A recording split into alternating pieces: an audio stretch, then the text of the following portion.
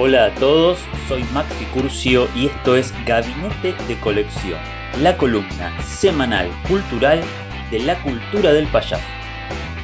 Vampire de Carl Dreyer fue estrenada en 1932. La tradición del cine de terror vampírico nos retrotrae hacia el mito de Nosferatu una década atrás, en gemas como la concebida por Frederick Murnau en 1922 referente obligatorio que sentara un eslabón insoslayable a la inspirada versión que correspondiera medio siglo después Werner Herzog o incluso dentro de la leyenda, a modo de puesta en abismo que sostiene La sombra del vampiro de Elias Marriage en el año 2000. Sin embargo, existe un antecedente primordial que no podemos dejar de lado a la hora de sopesar la contingencia de un subgénero de lo más nutrido, en su obra maestra, Carl Dreyer utiliza el sonido, la puesta en cámara y el montaje paralelo como elementos conductores del pavor.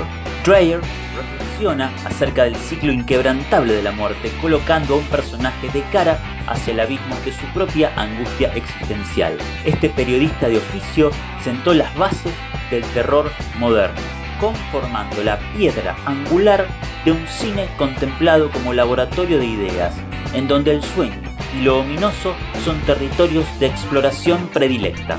En Vampire se nos provee de información valiosa acerca de la inmortal mitología literaria, mientras sombras maléficas danzan proyectadas en la antiquísima pared. Vestuario y maquillaje aportan una composición sobria y realista y el expresionismo alemán juega con el valor de la percepción, mientras la escenografía denota su clara influencia la locación elegida y el juego de contraste proveído al respecto simulan la fascinada mente del protagonista. Es la realidad dislocada que cumple la última fantasía fúnebre.